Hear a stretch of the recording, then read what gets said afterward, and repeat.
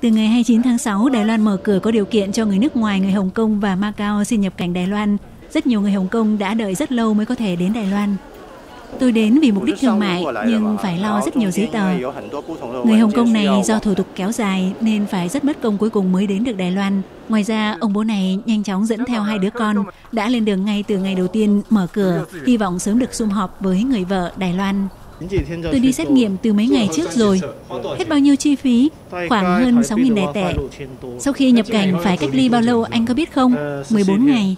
Theo công bố của Bộ Ngoại giao Đài Loan, trừ các mục đích gồm du lịch và thăm hỏi có tính xã hội, còn lại người nước ngoài đều có thể xin phép nhập cảnh Đài Loan. Theo quy định mới, người hôn phối đến từ các khu vực Trung Quốc, Hồng Kông và Macau cũng như con cái.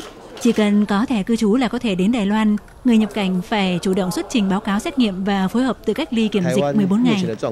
Tình hình hiện tại của Đài Loan khá ổn. Tôi cảm thấy rằng trong việc kiểm soát quản lý tốt nhất vẫn nên có một số biện pháp an toàn. Có nhiều người hy vọng trong lúc mở cửa dần cho du khách nước ngoài đến Đài Loan, các cơ quan hữu quan cũng phải cẩn trọng trong việc quản lý kiểm soát, hy vọng đừng để hoài phí sự nỗ lực từ lâu nay.